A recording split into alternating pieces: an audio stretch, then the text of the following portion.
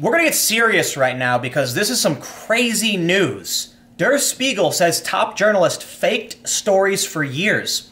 Publication says Klaus Relotius committed journalistic fraud on a grand scale. Der Spiegel, I don't, I don't know if it's fair to call it like the New York Times of Germany. I've got their Wikipedia page. Basically, it says it's a German weekly news magazine published in Hamburg, so maybe not the New York Times, maybe more like Time Magazine or something. It was founded in 1947. It is it was it was founded 71 years ago. This is a legit, serious news outlet. Let's read what they say. This is on the Guardian. The German news magazine Spiegel has been plunged into chaos after revealing that one of its top reporters had falsified stories over several years. The media world was stunned by the revelations that the multi award winning journalist Klaus Relotius had, according to the Weekly, made up stories and invented protagonists in at least 14 out of 60 articles that appeared in its print and online editions, warning that other outlets could also be effective, affected. Relotius, 33, resigned after admitting to the scam. He had written for the magazine for seven years and won numerous awards for his investigative journalism, including CNN Journalist of the Year 2014. I gotta say, first, I don't think most news organizations are doing a bad job. Most. Some are extremely bad, some are extremely good, and then you find, you find the average. When I look at CNN, what's the big problem with CNN? Their cable news commentary. It's awful because it's basically an op ed department. But their fact based news, news reporting is only somewhat bad. I give it like a 5 out of a 10. I used to watch CNN 24 7 passively. Like I would keep it running so that if breaking news happened, I'd see the alert and then Don Lemon went on that racist rant with his guests laughing and mocking, you know, people based on their race. And I was just like, like literally black people. I'm not talking about like white racism. I'm talking about literally mocking a, a black person saying horrible things. And so I'm just like, look, man, I don't, I don't know why CNN supports that stuff. Uh, Fox News is also bad in terms of like on, on air commentary. And what I mean by bad, I mean partisan. On, uh, their news outlets online tend to be pretty okay. And then you have these digital outlets that tend to be pretty okay.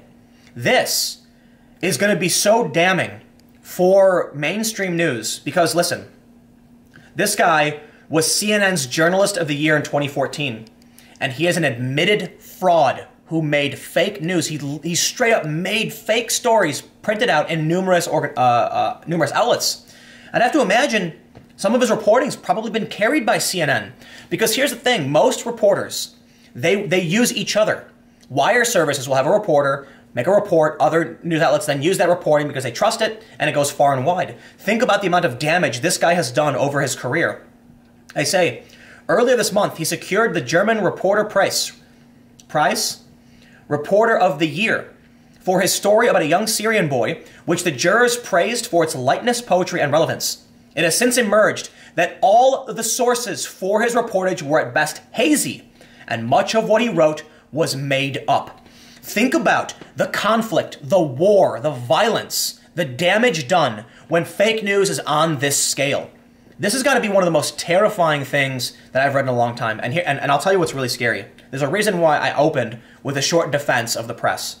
It's because people like him still exist, and there are more. I don't believe the overwhelming majority of CNN or New York Times or Der Spiegel or Guardian are like him, but they exist. And these scandals happen period- per- periodically. And what that means is, right now, at these news organizations, I'd be willing to bet there are at least a couple individuals who just straight make things up. And journalists always want to run defense and say, oh, why would a journalist do that? I'll tell you why. I'll tell you exactly why these guys make things up. How about Journalist of the Year, CNN 2014? How about Journal uh, Reporter of the Year, the German Reporter of the uh, of the Year award? This is this is rather terrifying. The falsification came to light after a colleague who worked with him on a story along the U.S. Mexican border raised suspicions about some of the details in Relotius's reporting, having harbored doubts about him for some time. The colleague, Juan Moreno, eventually tracked down two alleged sources, quoted extensively by Relotius in the article, which was published in November. Both said they had never met Relotius. Relotius also lied about seeing a hand painted sign that read Mexicans Keep Out, a subsequent investigation found. Think about all the people on the left who have heard this story about a sign that reads Mexican keep, uh, Mexicans keep out. And it turns out it was a lie. It never happened. Think about the culture war. How many activists have decided to get violent over fake news? How many activists were inflamed by stories like this, and it made them get up and call people to action? The culture war is being fueled by fake news from partisans and from charlatans. Let's read on. Other fraudulent stories include one about a Yemeni prisoner in Guantanamo Bay and one about NFL star Colin Kaepernick. In a lengthy article, Spiegel, which sells about 725,000 print copies a month as, and has an online readership of over 6.5 million, said it was shocked by the discovery and apologized to its reader and to anyone who may have been the subject of fraudulent quotes, made up personal details, or invented scenes at fictitious places. Der Spiegel's gone. Like, there's no way. There's no way you can trust them at this point. This is terrifying. The Hamburg based magazine, which was founded in 1947 and is renowned for its in depth investigative pieces, said Relotius had committed journalistic fraud on a grand scale.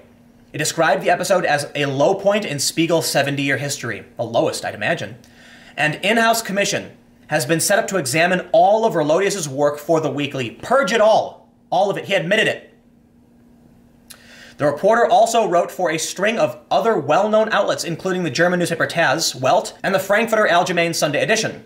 Die Welt tweeted on Wednesday he abused his talent. No, lying is, well, I guess you could say lying is a talent. Actors are pretty good at it. But this is something else. Relotius told Spiegel he regretted his actions and was deeply ashamed. The magazine said, I am sick and I need to get help. He was quoted as saying, Yeah, he regrets, he, he, he regrets being caught. Think about that. It's always people who get caught who regret it. And I understand there has to be a negative consequence for you to be upset about what you did. But think about all the journalists who are still doing this kind of thing. Moreno, who has worked for the magazine since 2007, risked his own job when he confronted other colleagues with his suspicions, many of whom did not want to believe him. For three to four weeks, Moreno went through hell because colleagues and those senior to him did not want to believe his accusations at first. Der Spiegel wrote in an apology to its readers. For several weeks, the magazine said, Relotius was even considered to be the victim of a cunning plot by Moreno. Relotius cleverly rebuffed all the attacks, all of Moreno's well researched pieces of evidence, until there came a point when that didn't work anymore, until he finally couldn't sleep anymore, hunted by the fear of being discovered, the magazine wrote. Relotius is, it added, finally gave himself up last week after being confronted by a senior editor. In his confession to his employer, he said, It wasn't because of the next big thing, it was fear of failing. My pressure to not be able to fail got even bigger the more successful I became. The magazine, which is one of Germany's most prominent news organizations, is now trying to rescue its reputation amid fears a magazine already challenged by the problems in the German newspaper industry will struggle to recover. All his colleagues are deeply shattered, the magazine wrote. In particular, it said in the department Society, in which he worked, his colleagues are astounded and sad. The affair feels like a death in the family. This story, just published today, only about a couple hours before I have read this article, and I gotta say, for one, I have an over. I have. A, I am seriously concerned that stories like this are going like. Look, this is one person, so don't take it out of proportion. It doesn't mean all news is bad, and we already have an issue of trust in the mainstream media. But I will also add, do take it as evidence that there is an underlying problem. There are journalists who do this. We need to know who we can trust, and this is the challenge. This just shows us they exist. And as many, as often as journalists try to claim that they're the good, the heroes doing the right thing, this just shows us it's not true for everybody.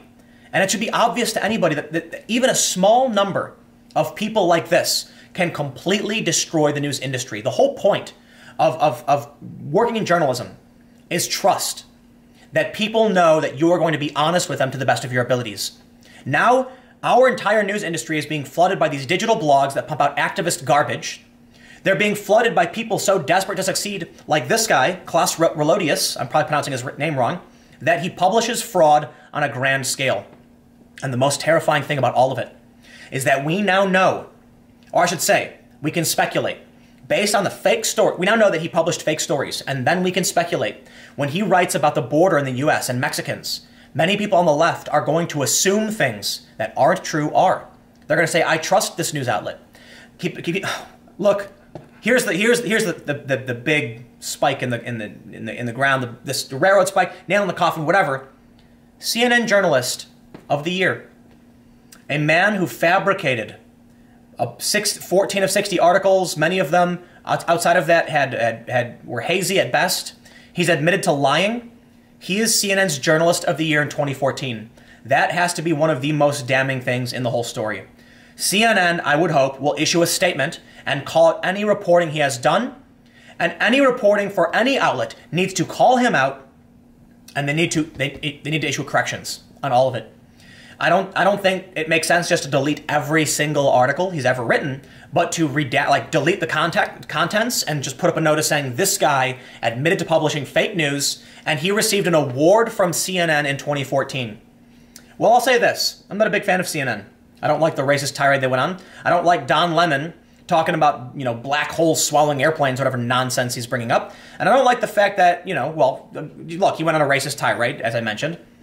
But I gotta say, when people call CNN fake news, it's it's a bit hyperbolic for the most part because well they're just opinionated, which is bad. It's not good news, and they do some generally fine reporting, but they do have a lot of bad reporting.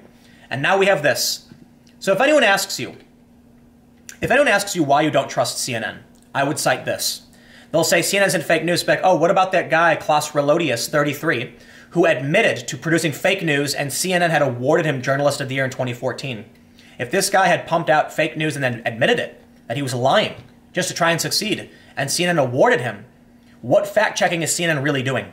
Because I'll say this do I think everyone at CNN is like this guy? No, of course not.